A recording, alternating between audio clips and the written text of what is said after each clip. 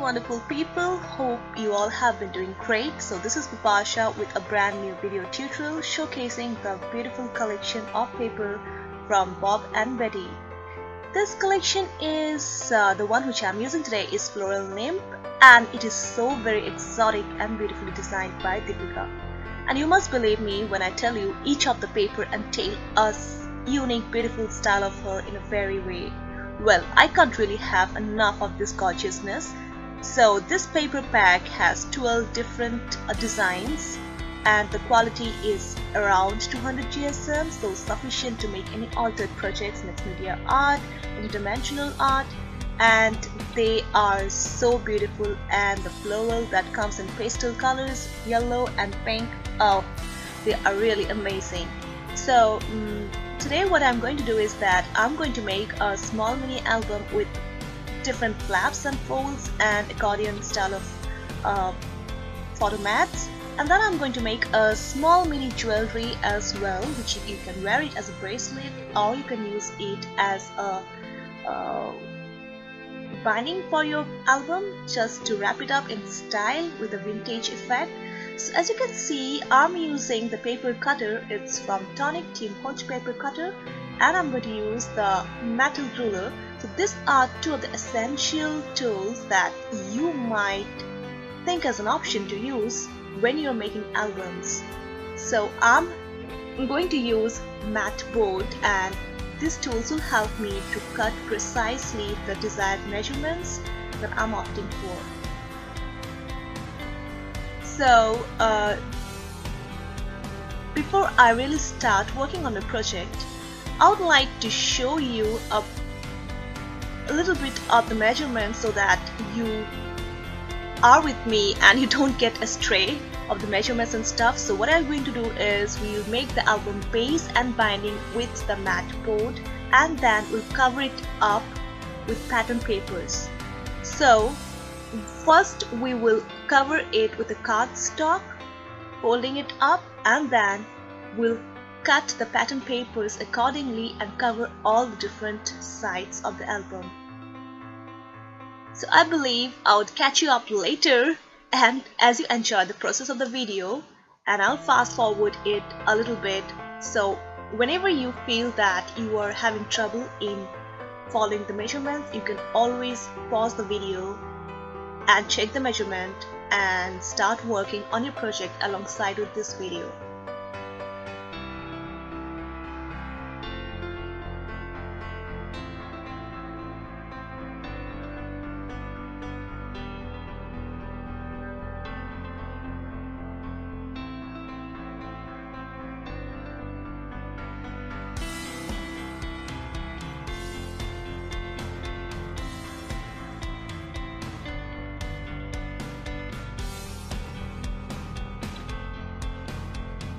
Eventually as I was making the video I decided to have a magnet flap and as you can see there are like two buttons of magnet and this was the time when I was trying to adjust and place it right on the correct position. So just for a cross and quick reference I'm showing you the manual for the inside pages to show the triangular flap that I'm intending to create in this so yes, I'll tell you a bit more in details in the later half of the video.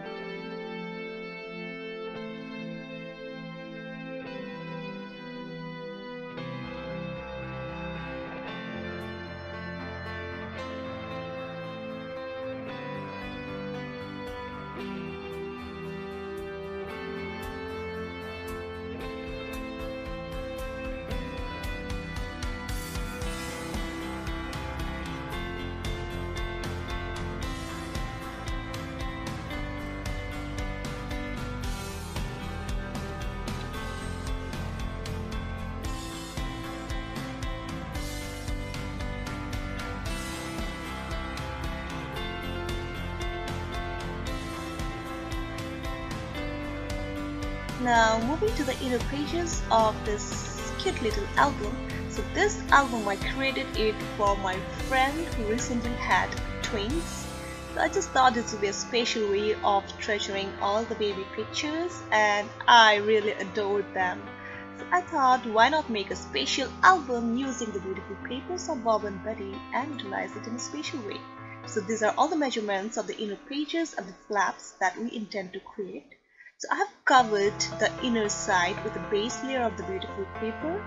Then I'm going to make the two accordion folded photo mats on the right hand side of my book and the other tri-folded card photo mat on the left hand side. So I'm just using double-sided tape and going to adhere my photo mat. So as you can see, I'm also using some corner punches. Uh, these punches are really versatile and they are just quick on the go and very easy and gives a very classy look at the same time. So I'm trying to corner punch both the cardstock flaps and the pattern papers and yeah that's how you do it so yeah I'm just doing it and I'm going to make similar designs of the accordion folds. I'm going to wrap it up using some lining ribbon and a brad maybe yep. So yes enjoy doing it alongside me. And I will get back to you again after a short while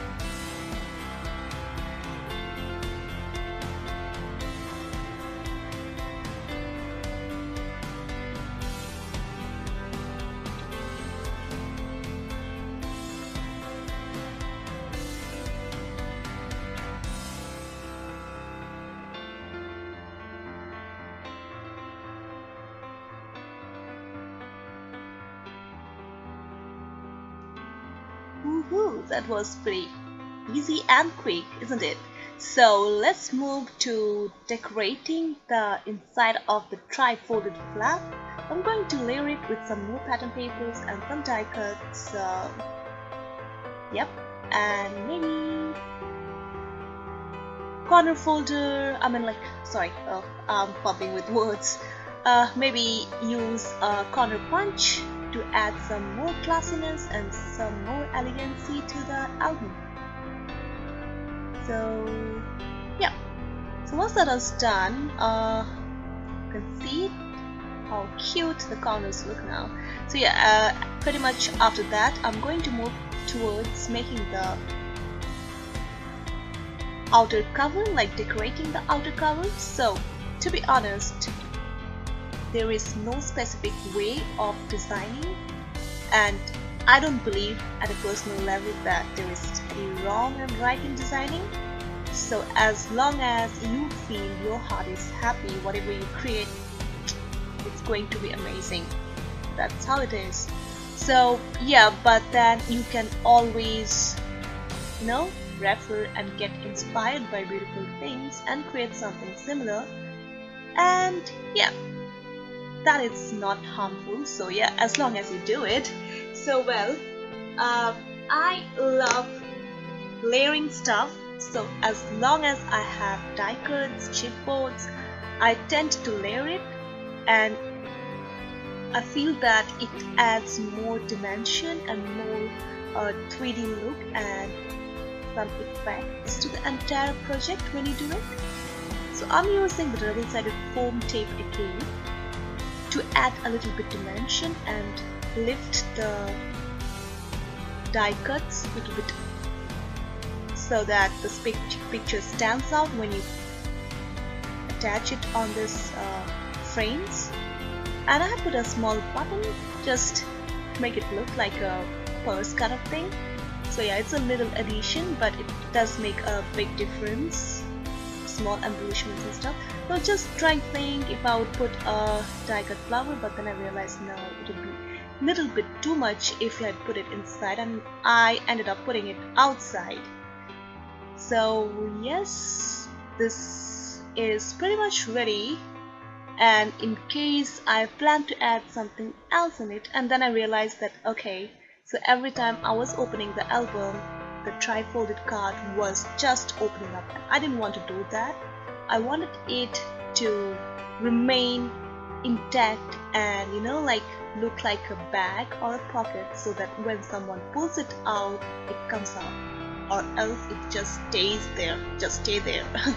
So yeah. So I thought of adding a magnet in there and it really worked well so and remember when I told you I made a little bracelet so I just fussy cut the beautiful uh, small flowers that I had in one of the designs of the uh, floral nymph collection and I use the stitches stamp from Market 49 and I love these stitches and I feel that they add beautiful effects to the pattern papers.